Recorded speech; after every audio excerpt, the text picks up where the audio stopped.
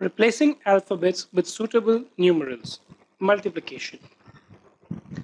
Now in this case what is happening here is the only digit that we have in terms of number is 5. Okay. So basically we have LM into ML is equal to M5M.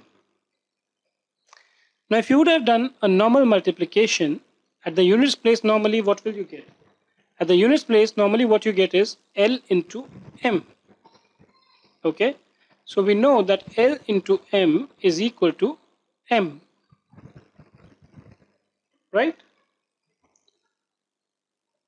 Or effectively if we say L is equal to M divided by M is equal to 1.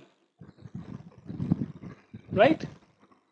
Once L is equal to 1, what do we get here? We get 1 into M into M into 1 is equal to M5M. Right?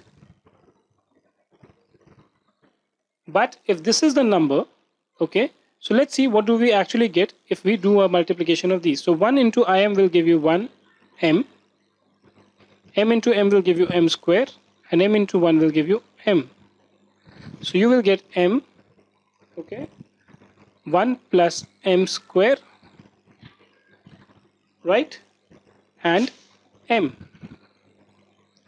But what we notice is that this value, we know how much is this value? This 5. So 1 plus m square is equal to 5 or m square is equal to 5 minus 1 is equal to 4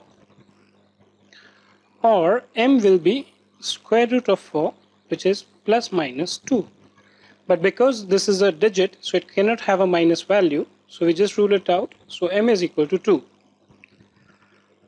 so then basically my number becomes 1 m is 2 into 2 1 and the answer will be 252 which is this number. Let's see if it is correct. 21 into 2 will give you how much? 42 2 4 carry. 21 into 1 is 21 plus 4 is 25 which is correct. And hence we say that the solution is obtained